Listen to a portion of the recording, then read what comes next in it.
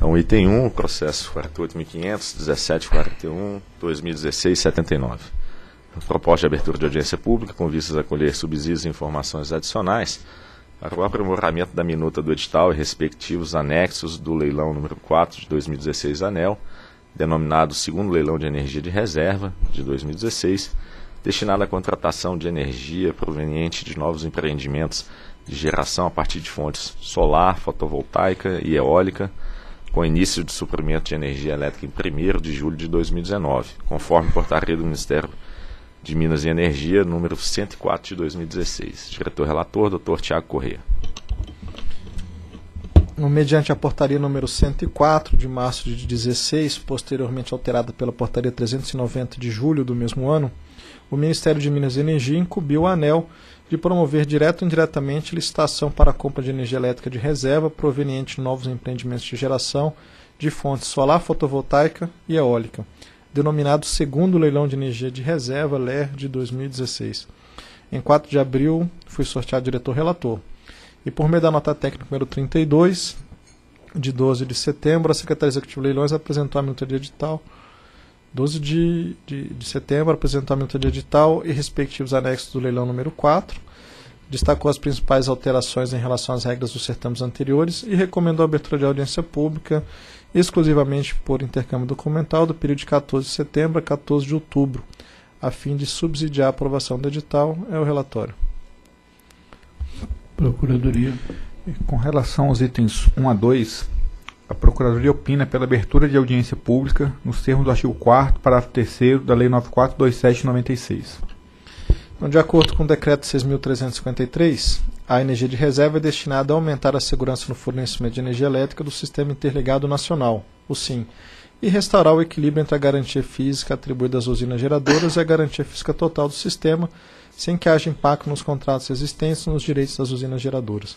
A contratação dessa energia tem por objetivo ainda reduzir os riscos de desequilíbrio entre a oferta e a demanda de energia elétrica. Tais riscos decorrem principalmente de atrasos imprevisíveis de obra, ocorrência de períodos críticos de hidrologia e indisponibilidade de usinas geradoras. Em relação às diretrizes estabelecidas pela Portaria 104, é, se destaca que o Ministério orientou no sentido de que o leilão será realizado no dia 16 de dezembro de 2016, com participação exclusiva de fontes solar, fotovoltaica e eólica. Serão negociados contratos de energia de reserva na modalidade por quantidade de energia, diferenciado por fonte, com prazo de suprimento de 20 anos. O início do suprimento da energia elétrica ocorrerá em 1 de julho de 2019. Será utilizado como critério de classificação a margem do desconto uh, de transmissão, de escoamento de transmissão, e não serão habilitados tecnicamente pela empresa de pesquisa energética o empreendimento com CVU superior a zero, com potência instalada inferior a 5 MW, que tenha comercializado energia em leilões de energia nova, de fontes alternativas ou de energia de reserva e cujo ponto de conexão assim tem capacidade de escoamento inferior à sua potência injetada. Em relação aos empreendimentos já cadastrados na EPE, então há um registro de cadastro de 1.260 empreendimentos para o segundo LER, conforme discriminado no quadro a seguir por estado e fonte. As fichas de dados e demais documentos serão examinados no processo de habilitação técnica que antecede a realização do certame. Então a gente tem nesse quadro a as fontes, né, a quantidade de projetos habilitados, a potência, então um total de 1.260 com 35.147 megawatts, sendo 841 projetos de eólica com 21.760 megawatts de potência e 419 de fotovoltaica com 13.387, espalhado em todos os estados, com a predominância dos estados do Nordeste, mas chama atenção para projetos fotovoltaicos de Minas Gerais, em São Paulo, que seria fora, né, em Tocantins, e no Rio Grande do Sul com potencial eólico já bastante consolidado. Então, em relação às inovações do edital, a Minuto em Apreço repete basicamente os modelos adotados nos últimos leilões de novos empreendimentos de geração de energia elétrica, aprovado por essa agência, especialmente o edital do primeiro leilão de energia de reserva de 2016. As modificações realizadas na minuta foram pontuais em virtude de diretrizes estabelecidas na portaria do Ministério de Minas e Energia. E para esse certame consoante a proposta do Operador Nacional do Sistema, abre-se uma possibilidade aos vendedores que comercializem energia no leilão de que após a publicação correspondente à outorga possam solicitar acesso à rede básica e celebrar previamente a emissão do parecer de acesso os contratos do uso do sistema de transmissão CUST, com ONS, e de conexão ao sistema de transmissão CCT, com a transmissora responsável pelas instalações a serem conectadas, considerando o ponto informado na fase de cadastramento, considerando que já tem uma análise da capacidade de escoamento. E por essa proposta, caso não se celebre esses contratos no prazo de 60 dias, contados a publicação da respectiva outorga de autorização, a vendedora não terá mais a reserva da capacidade de transmissão no ponto de acesso indicado. Cabe lembrar que esse leilão considera como critério de classificação a margem de escoamento de transmissão, o que possibilita aos agentes a reserva do ponto de acesso, sem prejuízo das responsabilidades e custos decorrentes. Além disso, tal como procedido em outros leilões, foram inseridos na minuta de edital requisitos técnicos mínimos que devem ser aplicados às centrais geradoras fotovoltaicas e eólicas com conexão nas instalações sob responsabilidade de transmissora ou distribuidora, de forma individual ou compartilhada, com o objetivo de garantir a necessária robustez dessas fontes diante de distúrbios, de forma a não colocar em risco a segurança elétrica do sistema.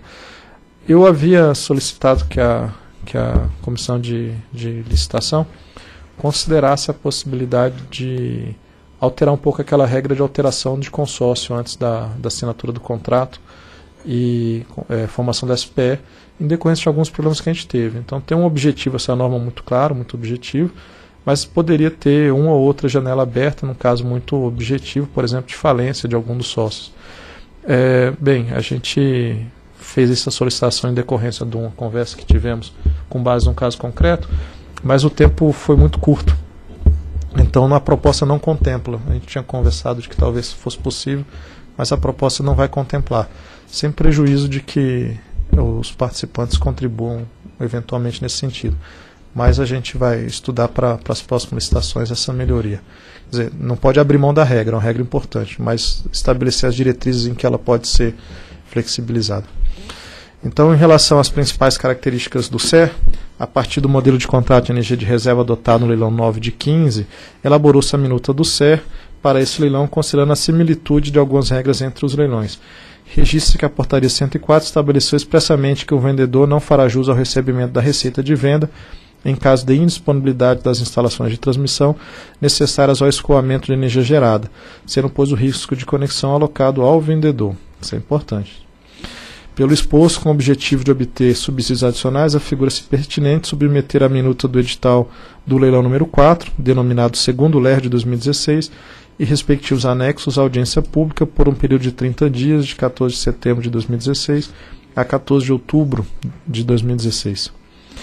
Então, do exposto com base no que consta nos autos do processo 48500001741 de 2016, de 79, Voto pela instalação de audiência pública exclusivamente por intercâmbio documental no período de 14 de setembro a 14 de outubro de 2016, visando colher subsídios e informações para aprimoramento da minuta do edital e respectivos anexos do leilão número 4 de 2016, denominado segundo LER de 2016, o qual se destina à contratação de energia elétrica proveniente de novos empreendimentos de geração a partir de fontes solar fotovoltaica e eólica com início de suprimento de energia elétrica em 1 de julho de 2019. É o voto. Em discussão.